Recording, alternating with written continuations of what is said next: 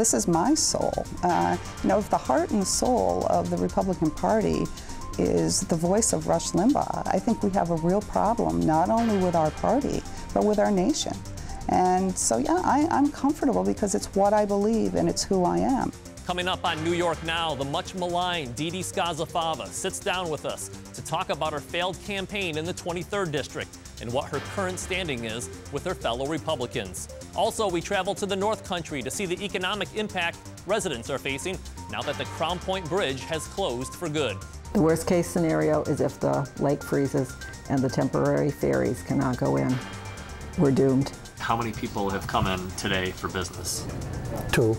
All this plus special session analysis at the Reporter Roundtable this weekend on New York Now.